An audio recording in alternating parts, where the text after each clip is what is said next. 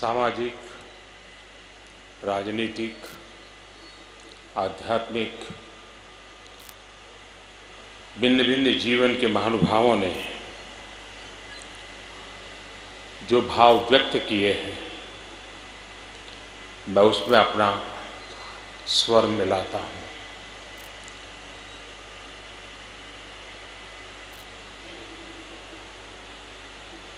सुषमा जी के व्यक्तित्व के अनेक पहलू थे, जीवन के अनेक पड़ाव थे।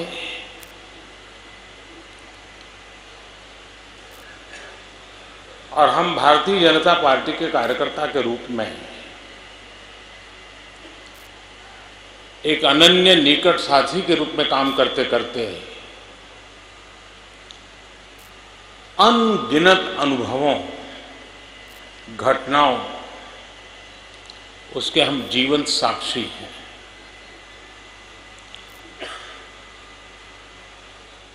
व्यवस्था के तहत एक अनुशासन के तहत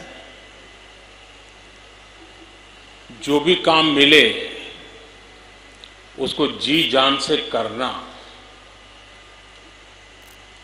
और व्यक्तिगत जीवन में बहुत बड़ी ऊंचाई प्राप्त करने के बाद भी करना।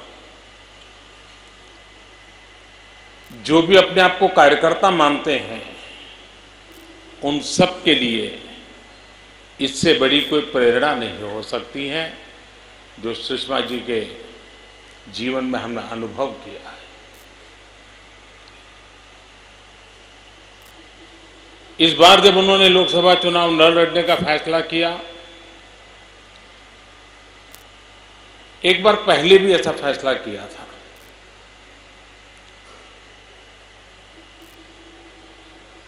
और वो अपने विचारों में बड़ी पक्की रहती थी। तो मैं और वेंकैया जी उनसे मिले। उन्होंने मना किया। लेकिन जब कहा कि आप कर्नाटक जाइए और विशेष परिस्थिति में इस मुकाबले में जी गए परिणाम करीब करीब निश्चित था। लेकिन ये चुनौती भरा काम था। पार्टी के लिए मुझे करना चाहिए। एक पल का भी ना कहे बिना उन्होंने उसको किया। परिणाम निश्चित था, फिर भी किया। इस बार मैं उनको बहुत समझाता रहता था कि आप चिंता मत कीजिए, हम सब संभाल लेंगे, आप एक बार। लेकिन इस बार वो इतनी पक्की थी और उनको भी पता था कि शायद कहीं पीछे से मुझ पर दबाव आ जाएगा, इसलिए उन्होंने सार्वजनिक घोषणा कर दी ताकि कोई किसी का दबाव चले ही नहीं। यानी वो अपने विचारों की पक्की भी थी और उसके अनुरूप जीने का प्रयास भी करती थी। आमतौर पर हम देखते हैं कि कोई मंत्री या कोई सांसद सांसद नहीं रहता है, मंत्री नहीं रहता है, लेकिन सरकार को उसका मकान खाली कराने के लिए सालों तक नोटिस पर नोटिस भेजनी पड़ती है। कभी कोर्ट कचहरी तक होती है। सुषमा जी ने एक प्रकार से सब कुछ समेटने का तय ही कर लिया था। चुनाव नतीजे आए, उनका दायित्व पूरा हुआ, पहला काम किया, मकान खाली करके अपने निजी निवास स्थान पर वो पहुँच गई। सार्वजनिक जीवन में ये सब चीज़ें बहुत कुछ कह जाती है। सुषमा जी का भाषण प्रभावी होता था।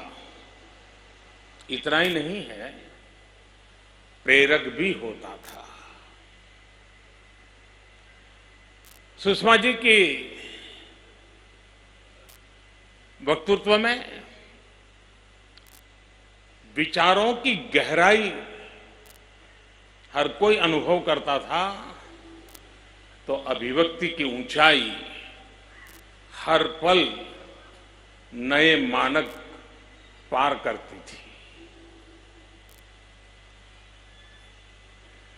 कभी कभी दोनों में से एक होना तो स्वाभाविक है, लेकिन दोनों होना बहुत बड़ी साधना के बाद होता है।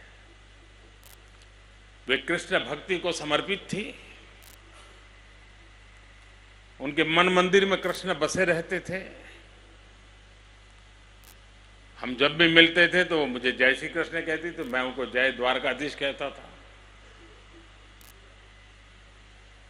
लेकिन कृष्ण का संदेश वो जीती थी। वो उनकी इस यात्रा को अगर एक पूर्ण रूप से देखें तो लगता है कर्मण्यवादी कारस्ते क्या होता है, सुषमा जी ने जीवन में दिखाया था।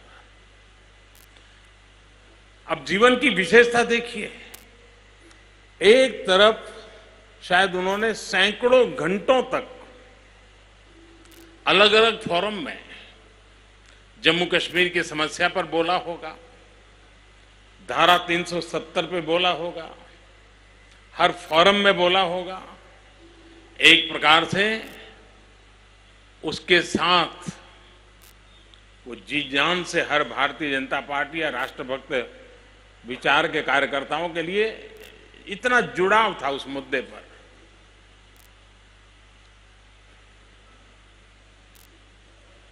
जब जीवन का इतना बड़ा सपना पूरा हो, लक्ष्य पूरा हो, और खुशी समाती ना हो, सुषमा जी के जाने के बाद जब मैं बांसुरी से मिला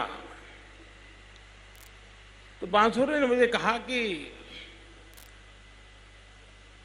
इतनी खुशी खुशी वो गई हैं, जिसकी शायद कोई कल्पना कर सकता है। यानी एक प्रकार से उमंग से भरा हुआ मन उसका नाच रहा था। और उस खुशी में ही, उस खुशी के पल को जीते जीते वो श्री कृष्ण के चरणों में पहुँच गई।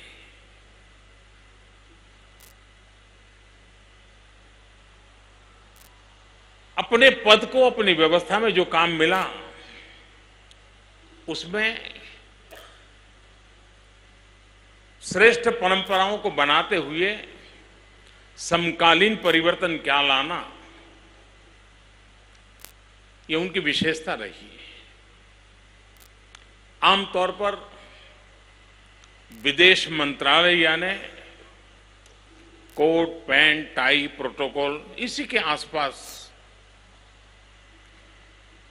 प्रोटोकॉल की ही दुनिया, हर विदेश मंत्रालय की हर चीज़ में प्रोटोकॉल सबसे पहले होता है। सुषमा जी ने इस प्रोटोकॉल की पूरी परिभाषा को पीपल्स कॉल में परिवर्तित कर दिया। वसुधैव कुटुंबकम विदेश मंत्रालय कैसे सिद्ध कर सकता है? उन्होंने विश्व भर में फैले हुए भारतीय समुदाय के माध्यम से उनके साथ उस निकटता को जोड़ करके, उनके सुख दुख का साथ हिंदुस्तान है। उसके पासपोर्ट का रंग कोई भी क्यों ना हो, उसकी रगों में अगर हिंदुस्तानी खून है तो वो मेरा है।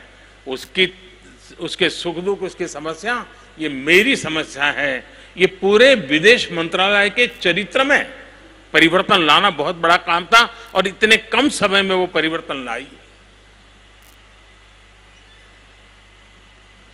विदेश मंत्रालय का, एम्बेसीज का, मिशन का, मिशन में बैठे हुए लोगों का इतना बड़ा बदलाव करना कहने में बहुत सरल लगता है, लेकिन पल पल एक एक चीज़ को गढ़ना पड़ता है जो काम सुषमा जी ने किया।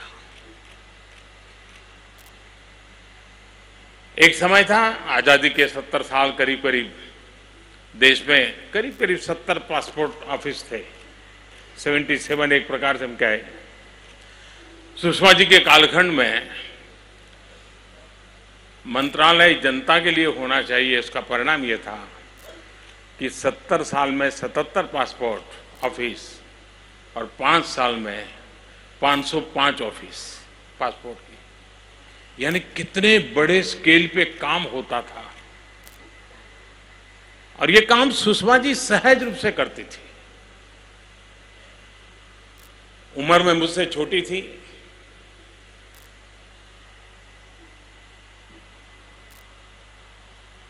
शारीरिक मर्यादाओं से वो जूझती भी रहती थी, जिम्मेवारियाँ निभाती भी रहती थी।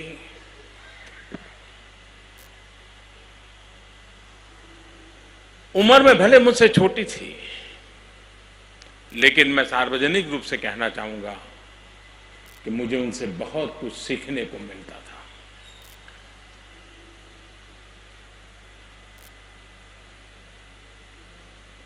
विदेश मंत्रालय की कुछ परंपराएँ बहुत उत्तम प्रकार की परंपराएँ हैं। मैं नया नया था। यूनाइटेड नेशंस में मेरा भाषण होना था। पहली बार जा रहा था। सुषमा जी पहले पहुँची थी। और जैसा मेरा स्वभाव रहता है कि मैं बैक टू बैक काम करने की आदत रखता हूँ तो मैं पहुँचा। तो वहीं गेट पे वो रिसीव करने के लिए खड़ी थी। तो मैंने कहा, चलो, अपन अभी बैठ लेते हैं। कल सुबह मुझे बोलना है, बताइए क्या करना है। तो सुषमा जी ने पूछा, आपकी स्पीच मैंने कहा, बोल देंगे, चले जाएँगे, क्या है? वो ऐसा नहीं होता है भाई। ये दुनिया में भारत की बात करनी होती है, आप अपनी मन मर्ज़ी से नहीं बोल रहे। मैं प्रधानमंत्री था वो मेरी विदेश मंत्रालय को संभालने वाली मेरी साथी मंत्री, वो वो किसी कह रही? अरे भाई, ऐसा नहीं होता है। तो मैंने कहा, भाई, मैं तो कभी न लिखता हूँ और लिखने करके पढ़ना मेरे लिए बड़ा मुश्किल होता है, मैं अपना बोल लूँगा। उन्होंने कहा, जी नहीं। रात को ही मेरे से, मैं इतना ट्रैवलिंग करके गया था। मेरे नवरात्रि के उपवास चल रहे थे। रात को ही वो भी बैठी।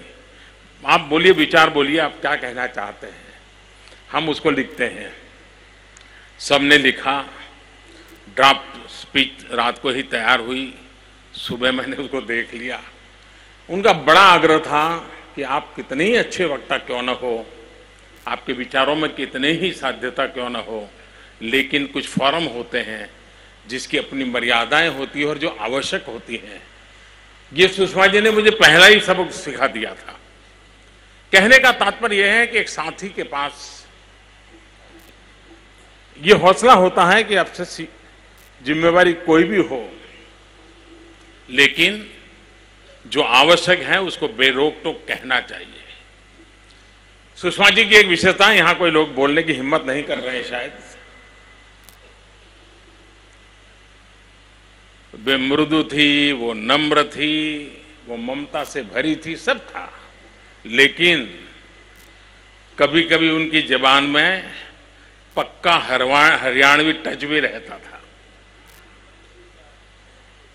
हरियाणवी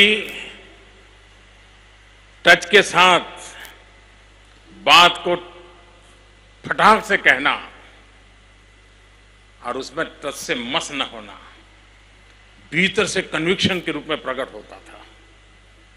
ये उनकी एक विशेषता थी। और ये सार्वजनिक जीवन में बहुत कम होता है। गुड़ी गुड़ी बात करने वाले लोग बहुत मिल जाते हैं। लेकिन जब ज़रूरत पड़े तो कठोरता पूर्वक चीज़ को रखना और तब मेरे लिए कौन क्या सोचेगा, उसकी चिंता करने के बजाय इस समय अगर गलत निर्णय हो गया तो नुकसान होगा।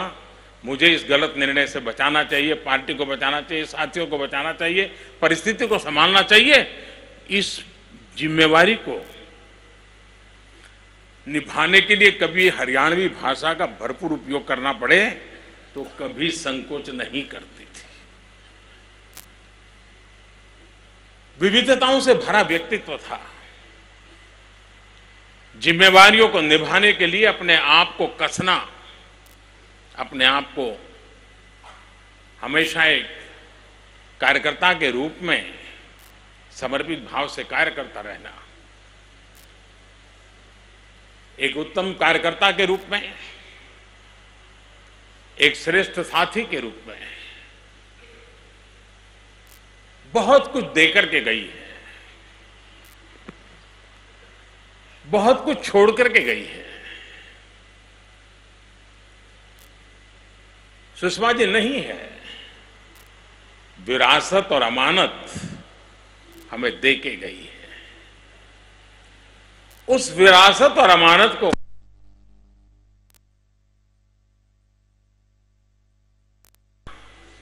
कभी कभी ज़रूरत पड़े तो सजाना बनता है। और वही सुषमा जी को सच्ची श्रद्धांजलि होगी। सुषमा जी की जो ताकत थी, उसकी कुछ झलक मैंने बांसुरी में अनुभव की। जिस प्रकार से सुषमा जी गई, उस पल को संभालना बहुत मुश्किल काम मैं मानता हूँ। लेकिन अपने पिता को भी संभालना, परिस्थिति को भी संभालना, बांसुरी का जो धैर्य और मैच्योरिटी का मैंने दर्शन किया, सुषमा जी का एक लघु स्वरूप मैं उस बेटी को बहुत आशीर्वाद देता हूँ।